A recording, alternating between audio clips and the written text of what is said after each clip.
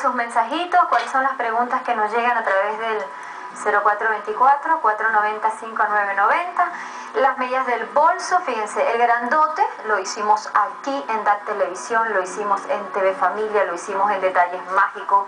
Está de regalo el patrón en el Facebook.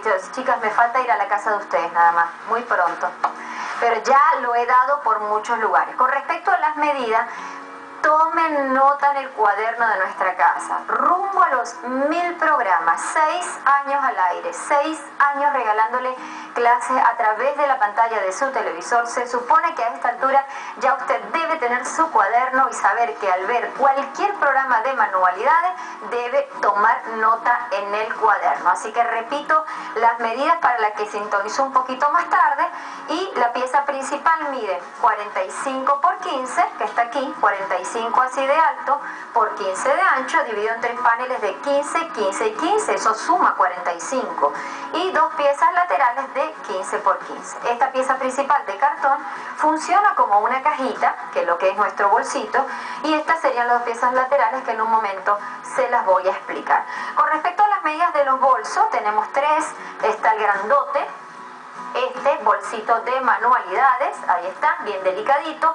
El mediano, que voy a ir con mis compañeros para allá, que es una hermosura, que lo hicimos el lunes pasado, este, hermoso, miren el tamaño, ahí con mi mano se dan cuenta, ¿ven?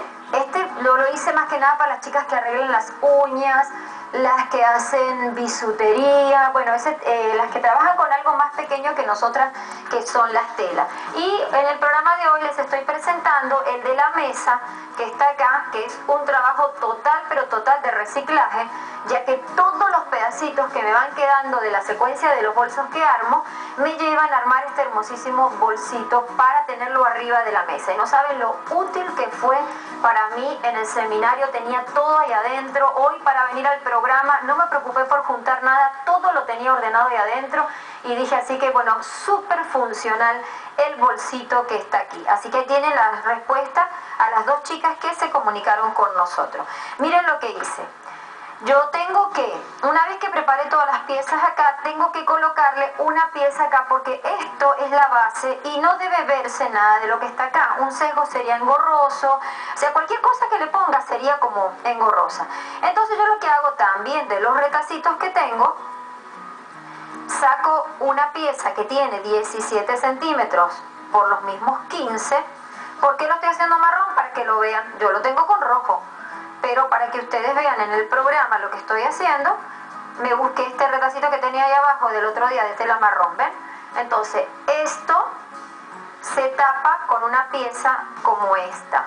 Se le coloca un doblez aquí, aquí, y lo cosen, y le colocan un doblez aquí, y lo cosen.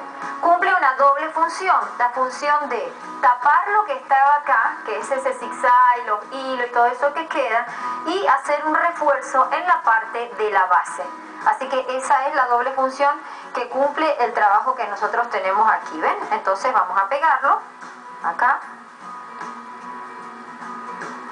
Simplemente le vamos a, a pasar la plancha, aunque la lona de algodón no necesita plancha, no la necesita.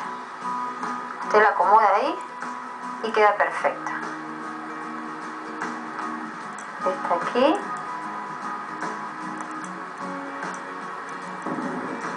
Tipo de tela la que usted tenga, la que usted quiera, de verdad, la que le guste.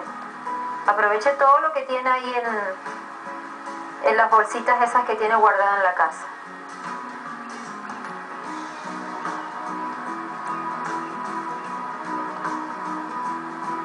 Bien. Coserlo para que lo vean entonces. Vengan para acá. Vengo para acá. Y coso.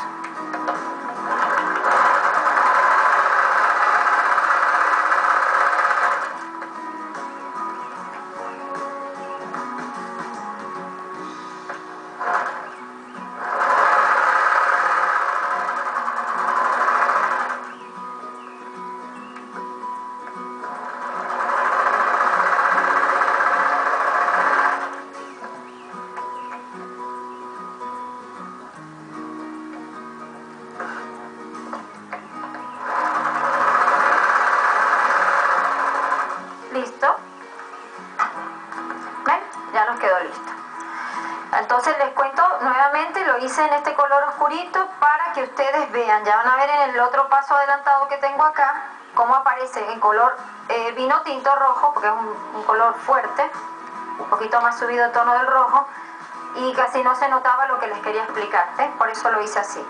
Aquí lo voy a traer. Aquí está, ¿ven? En este está pegada la pieza, pero al ser roja no se notaba lo que les quería explicar, por eso opté por ponerle esta para que notaran bien lo que le iban a poner. Muy bien. Entonces este lo dejamos aquí al costado. Vamos ahora a armar toda la, armar la pieza. Miren lo que va, la imagen que se van a grabar.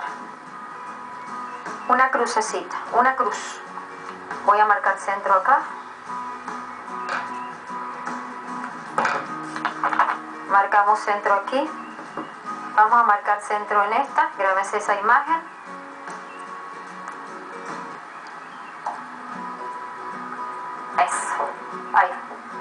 Bien, ¿verdad? Ahí está. Listo. Una vez que tienen eso así, van a pasar esta para este lado. Gracias. Están acá. Agarran esta, la pasan para acá.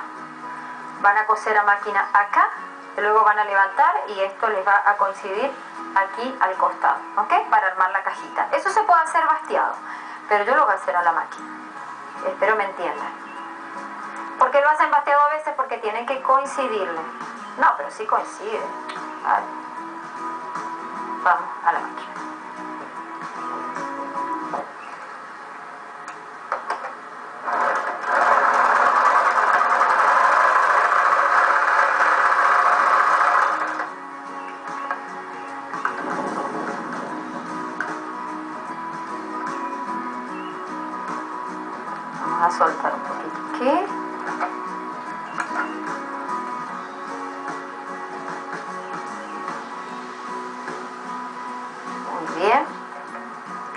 Subimos.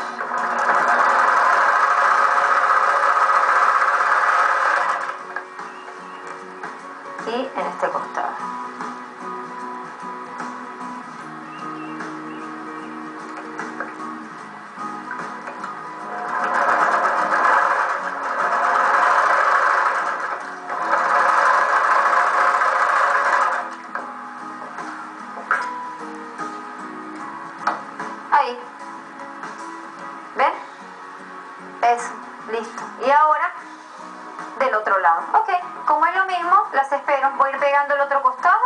Guru Mahavir.